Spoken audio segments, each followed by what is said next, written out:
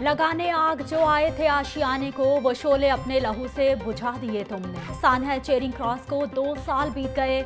Lahore news का बहादुर सपूतों को सलाम। डीआईजी सैयद अहमद मुबीन शहीद, आज भी दिलों में ज़िंदा। एसएसपी जाहिद महमूद गोंदल की कुर्बानी भी नाकाबले फरामोश। साथ शहीद पुलिस एहलकारों को भी खराज अकीदत।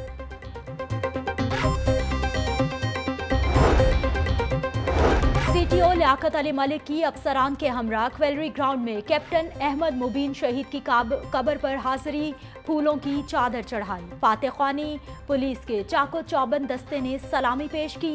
सीटीओ लियाकत अली मलिक का कहना है कि सानहा मॉल रोड की याद में आज भी आँखें पुरनम हैं। हम अपने शोहदा को भूले नहीं, अपनी जानों का नजराना पेश करने पर में भी पीछे नहीं हटेंगे। आवाम को चौक में खड़े अहलकारों की इज़्ज़त करना चाहिए।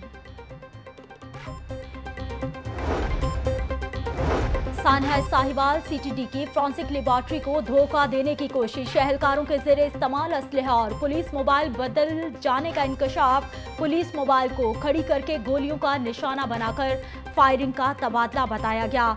जिशान की गाड़ी को एक से डेढ़ फुट के फासले से निशाना बनाया गया। जाय वकुआ से सौ के करीब गोलियों के खौल मिले।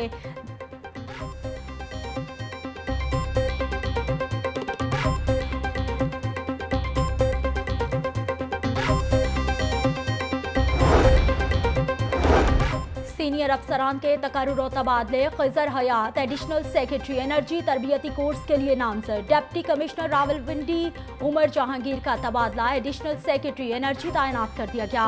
साइमा यूनस डिप्टी कमिश्नर रावलपिंडी की इजाफी ज़िम्मेदारी तफवीज नोटिफिकेशन जारी। Deputy speaker Punjab assembly Sardar, Dost Mazari, आज कायम मकाम गवर्नर पंजाब का हल्फ उठाएँगे।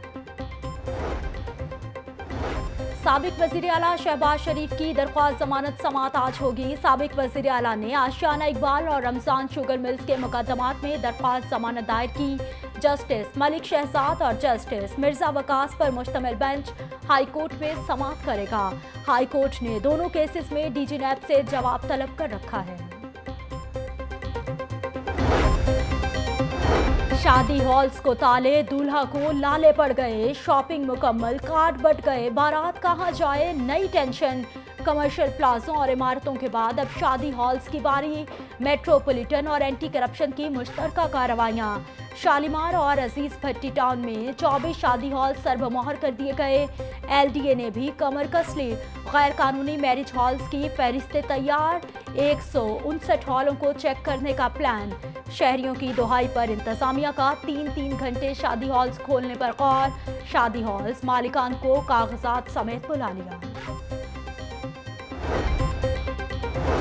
दूसरों को नसीहत, खुद मियाँ फसीहत। तब्दीली सरकार के सादगी के मामला गोल, सूबाई वजरा के नखरे। सरकारी रिहाइश गाहें भी नापसंद। पुरानी टाइलें, किचन, पुराने वॉशरूम्स इस्तेमाल करने से इनकार। तजीन और आइश का मुतालबा। वज़ीर अला के हुक्म पर मजीद दो करोड़ सत्तर लाख का बोझ। वज़ीर माल ने तो नया चूल्हा, गीजर और तोलिया लटकाने का स्टैंड भी मांग लिया। सरकारी रिहाइश गाहें खराब हालत में मिली, ये बड़ा स्कैंडल है। फ्याजुल हसन चौहान ने घरों की ताजीन और आइश का मलबा भी सबका हुकूमत पर डाल दिया है। शहर में मौसम के रंग निराले। आसमान पर सुबह सवेरे बादलों का मटर गश जारी। सूरज बादलों की ओर छुप गया। 24 घंटों के दौरान बरखा बरसने का भी इम्कान